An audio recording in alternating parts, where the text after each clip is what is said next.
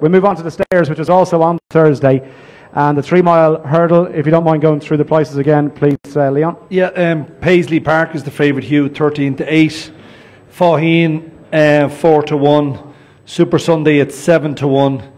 Um, Benie Des Dieux is in there, but I think she'll go on the mares in the first day. Black Op is 10 to 1. Uh, Kilbricken Storm and Top Notch at 14 to 1.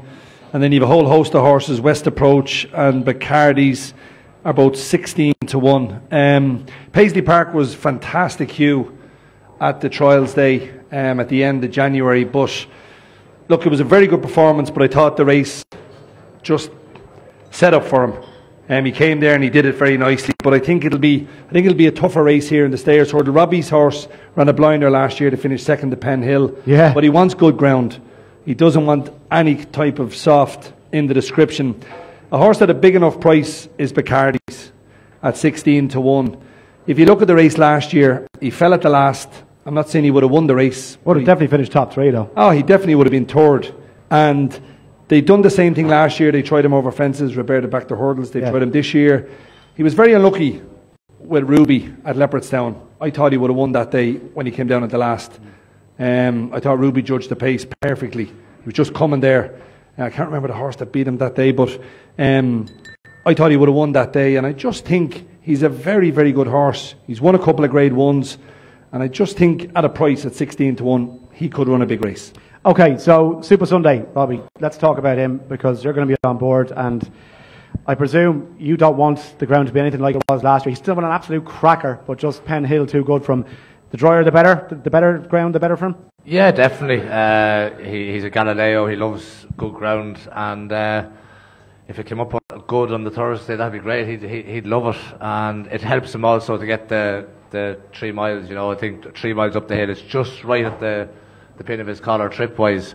Um, on good ground, uh, he'd get it. I think he got it last year, and he was a good winner. He'd have been a good winner without Penhill. You know, he's five or six times clear of the third horse, so uh, Yeah, broke you couldn't say that he, he, he- he didn't get it. And yours. Uh, I like the English are ranting and raving about Paisley Park and they're picking holes in Apple's Jade's form because Apple's Jade has beaten Super Sunday twice. Paisley Park has beaten West Approach, who I've ridden for Colin Tizzard, and is a very, very ordinary horse. Okay, so this Uh, horse is totally overhyped as far as you're concerned. Yeah, uh, like I Barry Geraghty rode in the race that Paisley Park won in Cheltenham, and he came in and he said Penhill and Supasundae, and then we'll, we'll eat him up. We'll eat him up. Yeah, That's interesting. Uh, no, he was a good winner on the day, but he's twice he's won his grade ones. He's beaten uh, West Approach, and no disrespect to West Approach, but he wouldn't be mapped if he ran in this race. Um, he'd probably finish fifth or sixth. That's uh, great. That's great information because 13 to 8 to me was a ridiculous price for a horse that really, as I say, what is he beating? That's you know the Yeah, he's done it. He's beaten West Approach twice, and fair play to him. Um, but I'd, ra- I'd rather, I'd, ra- I'd, I'd rather back Apple's Jade, who's beaten Supasundae twice, Yeah. than Paisley Park, who's beaten West Approach twice. Yeah. uh, I, I think that um, he's, I don't know, why he's overpriced because he won by big distances, but he beat a very ordinary horse by big distances. Yeah, I mean, Supasundae is, is a great show from Robbie there. Obviously, Faugheen is, is going to be in the mix as well, Ted. And Willie says it's a miracle they got him back after that last fall, but he is he's back flying around plus up. Yeah, I have a few bob and, Faugheen at 14 to 1. Uh, each way bet there. I think he's, he won't be out of the first three. Uh, I think he would have been a good second to Applejade at Leopardstown. Yeah. Uh, a good second. And if he stood up and was a good second there, I don't think there would have been 12 or 14 to 1 about him.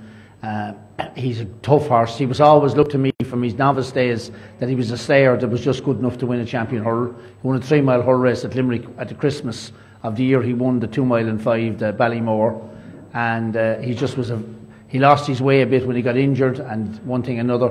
But I think that you look at him last year in Punchestown, he was good. And uh, he was good again this year. I just think that he's a, a, a, a, a really tough horse. And I think that he's not a great price now at 4 to 1. Uh, but he was good value at 12 and 14 to 1 for an each way bet. I think he won't be out of the money anyway. Will you give us 14 to 1 about Faugheen, Leon, will you? Later on. After, after listening to Puppy Power, what will you give about Paisley Park? He says he's no chance.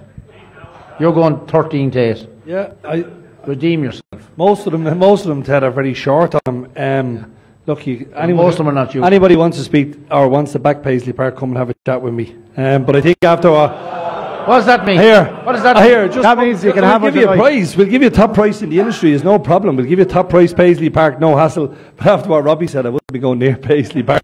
Okay, uh, Jane. So you know, if, if wins, the crowd will go absolutely ballistic. It would be fantastic to see Faugheen go and win this race. Supasundae equally as well. I, I know so many people were on him as well to see Robbie as well to go and do it for Jessica. Who do you like in this?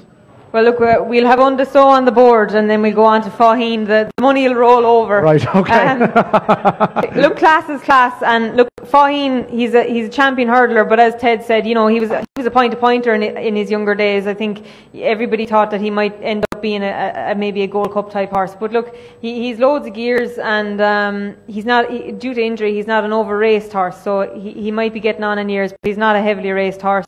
He's the class horse of the lineup. Supasundae is a fantastic horse. Has a been a brilliant servant to connections, but he's a horse that always nearly finds one too good. He was lucky in Punchestown last year. Um, who's to say what would have happened? But he, he, he ran out a clear cut winner when Had Mel- them well bet when they fell. Oh yeah. he has to say that. uh, but I do agree with his sentiments about the English horses. Look, Black Op didn't like jumping fences. Kilbricken Storm has done nothing this season. Top Notch was well beaten by Paisley Park um, at Ascot. West Approach is probably going to run in a handicap. Bacardys is each way value. But to be fair, I wouldn't look outside Faugheen and, and Supasundae. They've the best form in the race. And um, in an ordinary renewal of the of the World Hurdle or the Stayers' or whatever it's called now, um, I'd be going with the Class Act. Okay, all right. So Faugheen getting a big shout in Supasundae as well from Robbie.